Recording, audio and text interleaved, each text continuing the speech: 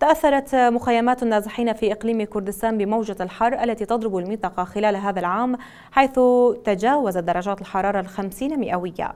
الحياة في المخيمات تتوقف بشكل كامل في النهار خوفا من تأثير أشعة الشمس الحارقة والحرارة المرتفعة التي صاحبتها. علي باسل والتفاصيل.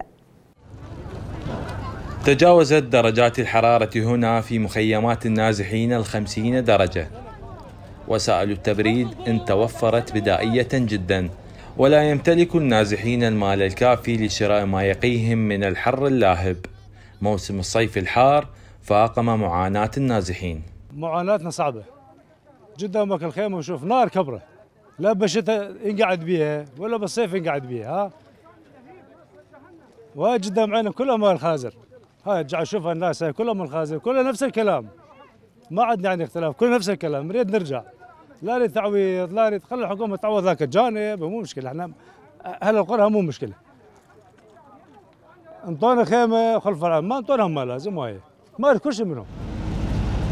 أغلب النازحين من نينوى وآخرون بنسبة أقل من الأنبار وصلاح الدين يتشاركون الهموم ذاتها وأمل العودة للديار مرتبط بتوفير الأمن والبنى التحتية والسكن وفرص العمل في مناطقهم الأصلية.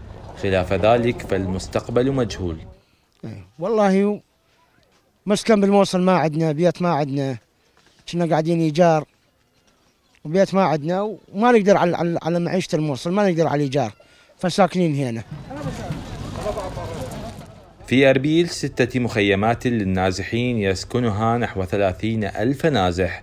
يعانون ظروفا معيشية سيئة ورغم الحملات الحكومية لإعادتهم إلى مناطقهم إلا أن مبالغ التعويضات لا تكفي فضلا عن غياب الخدمات والأمن. من أربيل علي باسل قناة صلاح الدين فضائية.